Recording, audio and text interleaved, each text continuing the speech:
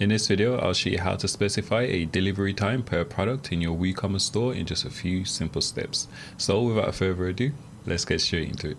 Okay, so here we are on our demo site and currently you can see that this particular product will be delivered in 25 days. Again, you can customize the wording to suit your store requirement. Okay, so for example, you can say ship within X amount of days, estimated delivery date, etc. etc. Okay, so it's up to you.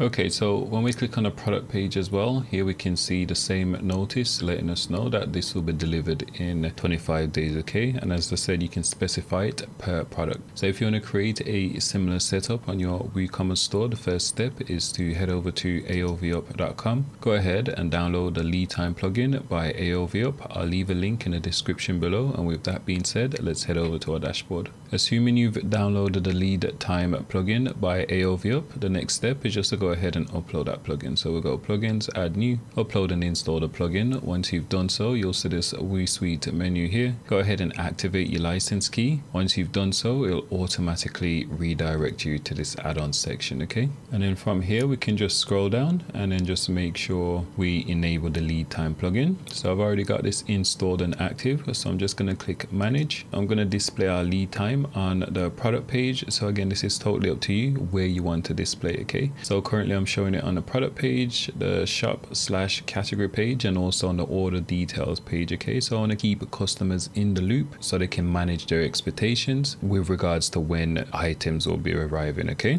so they might order several different items, and then obviously if we've got different lead time on those particular products, it might take longer to fulfill, whether it's due to logistical challenges, whether it's the time it takes to create, whatever the use case is, we can just let customers be aware that the items will will be arriving at different times okay? So we're going to display our lead time for products which are in stock okay? You can set it for products which are out of stock as well or even for items which are on back order. And then here we've got our prefix so we can say delivering. So this is just like a global message right that you can display for all products. If you didn't want to do this then you can just ignore this step. I'll show you how to customize it per product in a second okay? But in the event you just want to add a placeholder message for all your products, then you can say something like delivering and then you can add the value here and then we can specify the units here. So it's totally up to you if you want to add this global placeholder. When you customize the message and the wording on the product level, then it will override this settings here anyway. Okay. So now let's navigate over to one of our products. So I've already got this one open here. So all I'm going to do is I'm going to edit this product and then I'll show you how you can customize it. Okay. So when we scroll down, we've got this new tab here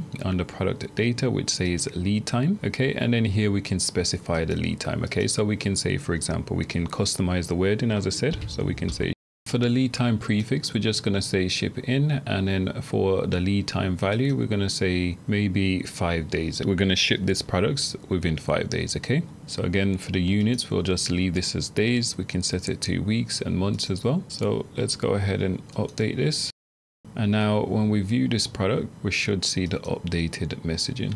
Okay, and here you can see it says ships in um, five days, for example. And it's the same thing if we view the shop page. Okay, so here you can see this particular product will be shipped in five days. Um, these ones have got our default messaging, which we've specified on a global level, right? But as you can see, you can actually customize the delivery dates per product, okay? And that's a quick and simple way to customize the delivery date per product on your WooCommerce store. As always, if you enjoyed this video, please like and subscribe for more videos like this. And if you've got any questions, leave in the comment box below or reach out to support and we'll get back to you as soon as possible.